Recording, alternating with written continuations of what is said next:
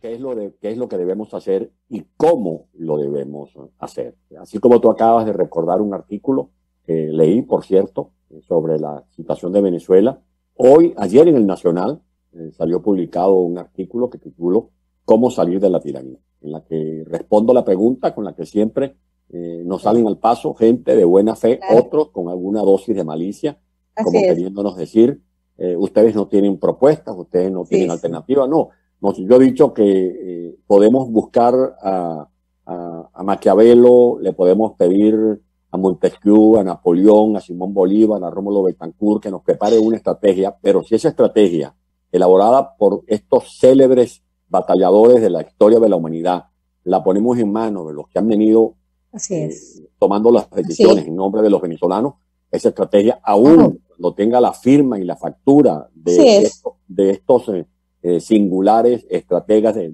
la historia de la humanidad, no llegan a ninguna parte. Claro. Lamentablemente tenemos una dirección política errática, infiltrada, comprometida con intereses que nada tienen que ver con lo que realmente aspiran los venezolanos, que es salir de esta tiranía. Y además, doctor, conciben la política como una piñata, como estamos diciendo, las elecciones se han convertido, o selecciones, en un negocio para esta dirigencia política que poco o nada le interesa honrar los compromisos. Doctor, en el 2015 eh, fuimos electos de hecho, aprovecho de saludar a, los compañeros de diputados de ABP, de Juan Carlos Bolívar, Nafiel Morales, Edwin Luzardo y Richard Blanco. Fuimos electos nosotros junto a todos los diputados eh, que se eligieron en ese proceso y la promesa que le decíamos, doctora, la gente, la Venezuela quiere cambio y nosotros se lo vamos a dar. ¿En qué momento esos objetivos eh, fueron puestos de lado y ahora resulta que unos cuantos nos están diciendo que Venezuela, según ellos, lo que quiere es votar, pero además quiere votar para repartir el poder con estas mafias. Eh, yo quisiera pensar a veces, doctor, que se trata quizás de desconocimiento, de ignorancia, de falsa estrategia, pero ya sabemos que no, doctor. Así este, debemos reconocer que también estamos al frente con gente inteligente y que posiblemente actúen de manera deliberada. ¿Por qué se cambian los objetivos? Doctor, permítame leer también algo que leí en su TL de Twitter, al cual invito a, a nuestro radio escucha a seguirlo. Usted decía hace poco, que para recuperar la libertad de Venezuela, antes era indispensable desmontar todo ese andamiaje delincuencial del que forma parte, por cierto, Maduro. Y la pregunta es, ¿qué estamos viendo nosotros, doctor Ledesma, que algunos no quieren ver y que otros se taparon los ojos? Porque para algunos se puede rescatar la democracia o la libertad en Venezuela con aquellos verdugos que hoy son los mismos que tienen secuestrada la institucionalidad y que además con indolencia arremeten en contra de los ciudadanos. Bueno, lo primero, Dinora, es salir al paso a esa mentira según la cual nosotros nunca hemos tomado el camino electoral. Eso es falso. Los venezolanos en los últimos años hemos interactuado por lo menos en 30 procesos electorales. Elecciones presidenciales, elecciones regionales, el referéndum, eh, hemos participado en plebiscitos, en consultas. También es falso eso que se quiere vender eh, haciendo parecer a los venezolanos como que si nosotros estamos cruzados de brazos esperando que lleguen los marines a Naiguatá. estamos dependiendo de una solución externa. No, los venezolanos hemos puesto el pecho y algún pueblo se ha inmolado, ha sido el pueblo de Venezuela. Los ganaderos y agricultores que se enfrentaron a la ley de tierras en el año 2001, eh, los empresarios y comerciantes que pusieron en riesgo sus fábricas, sus empresas. Eh, Chávez expropió junto con Maduro cerca de 8 millones de hectáreas atos como el ato Piñero, como el ato Caroní, como la Marqueseña, como el ato El Charcote, como el ato El Frío, los agricultores y ganaderos de mi estado, allá en la cuenca del Tignado, los ganaderos del, sur del lago, que tuvieron que dar, ponerle cara a aquel personaje que se presentó en nombre del Instituto de Tierra con una pistolota en el cinto y, rodeado de guardias nacionales, los gerentes de Lácteos Los Andes y, Caudare en la Zulita, o de la empresa láctea Machiques en el Zulia, o de Lácteos La Batallas en Barina, los gerentes de Agruileña que vieron cómo expropiaron a Agruileña. De allí que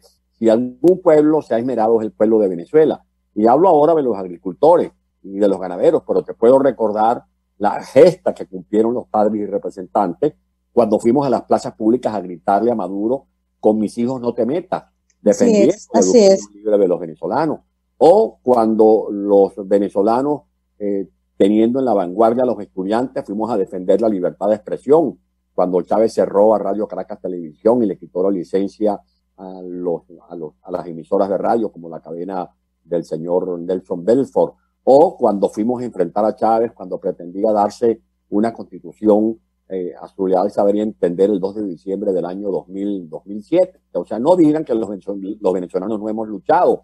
A los venezolanos, como se les invitó a marchar, marcharon.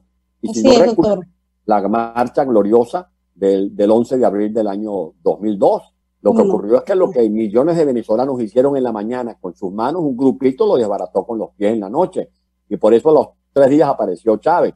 Y por último, los venezolanos eh, hemos ido a votar cuando nos piden votar. Y como tú lo acabas de recordar perfectamente, Vinora, para la campaña del año 2015, la gran consigna era que de ganar la Asamblea Nacional íbamos a cambiar los poderes públicos. Esa fue la gran oferta electoral. Ahí la gente no votó eh, por Edwin Luzardo en el Zulia, o votó por ti este, en tu estado, o votó por el candidato en Nueva Esparta, no, más allá de los méritos de ustedes, la gente votó por la... Por el cambio, por esa promesa de cambio. promesa del cambio. ¿Qué ocurrió? Bueno, que no se hizo el cambio.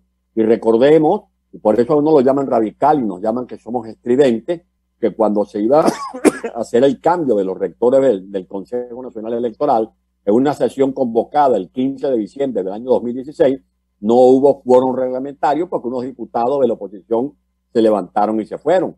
Y por eso no ha habido cambio. Y ahora vienen y nos meten gato por liebre diciendo que hay un nuevo Consejo Nacional Electoral designado por una asamblea que nosotros hemos dicho que no tiene legalidad. Por eso es que estamos como estamos. Y mientras estas cosas no se corrigen, por supuesto que Maduro se, se, aprovecha de estas contradicciones para mantenerse en el poder. Pero de que sí hay posibilidades de salir de esta gente, las hay, porque eso es un régimen inviable ya me va a decir cómo, doctor.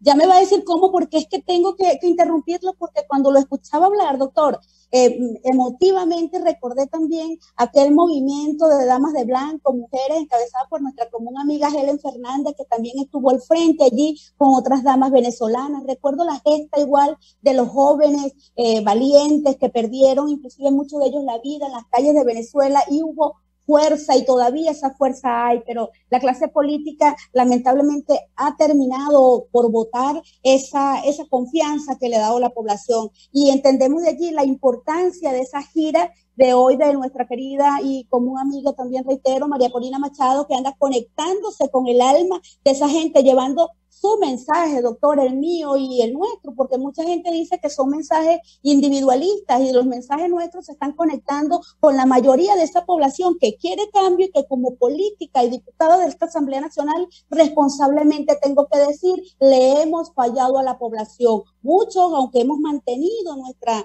eh, promesa de cambio y luchamos por ella, lamentablemente no hemos contado con esa mayoría necesaria en la Asamblea Nacional que ha puesto tanto el reconocimiento internacional y sus números de parlamentarios al servicio de otras causas que a veces no comprendemos. Porque, mire, doctor, hablar con usted es altamente motivador y emocionante y el tiempo, sin embargo, se nos va rápido. Por eso yo quiero que usted me diga, eh, partiendo de su libro, hacia dónde vamos, por qué, qué, por qué. Bueno, doctor, le voy a hacer una pregunta que es retórica y es de perogrullo. ¿Qué lo inspira? Sé que lo inspira Venezuela, pero dígaselo a quienes nos escuchan. Bueno, aquí tengo el libro. Déjame quitar el. Tengo ahí en pantalla al capitán. Aquí se ve bien capitán de la Sota, que ha sido víctima de, tantos desafueros, de, lamentablemente de, de, un régimen que no respeta los más elementales derechos. Este es el libro. Si lo ponemos un poco más, este, aquí lo estamos viendo en el centro de, su pecho, doctor, en el corazón donde debería estar. Allí este, lo vemos mejor. Aquí, aquí está. Bueno, es que, es que ya va, ya va. Es eh, no sé qué pasó aquí. Bueno, doctor, que usted, usted como que está haciendo allí unos, unos ajustes de tecnología y yo lo logro ver correctamente. Aquí está el libro. ¿De dónde venimos y hacia dónde vamos? Antonio Ledesma. ¿De qué va, doctor? El libro? Es una ofrenda eh, a los jóvenes, así lo, vi, lo digo en la, en la dedicatoria, digo, este trabajo es una ofrenda a los venezolanos que entregaron sus vidas por la libertad, especialmente a sus jóvenes, soñadores de una democracia por la que dieron su existencia sin llegar a conocerla a las anegadas mujeres que han estado siempre en la primera línea, asumiendo los riesgos con un coraje admirable. Este libro, en el que comienzo hablando de la historia de Venezuela, porque es importante saber de dónde venimos para poder plantear soluciones al presente de cara al futuro, y luego al final hago una serie de proposiciones. Propongo, por ejemplo, un pacto de Estado, creo que es necesario que los venezolanos podamos tener un pacto de Estado para que le digamos al país eh, cómo vamos a reconstruir la república. Eh, hablo allí de que pasemos la página del mito de que somos ricos porque tenemos petróleo.